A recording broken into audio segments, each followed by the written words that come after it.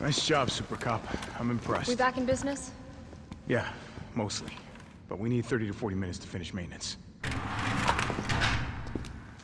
Nikolai, how are we doing? The town's crawling with those freaks. No chance of fighting our way out of the city. Why is she here? She's helping get the trains running again.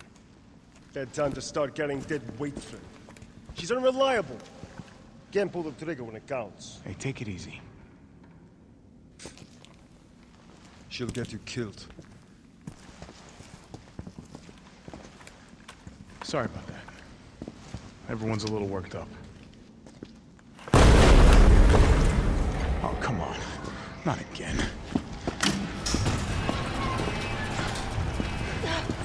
It's me he's after.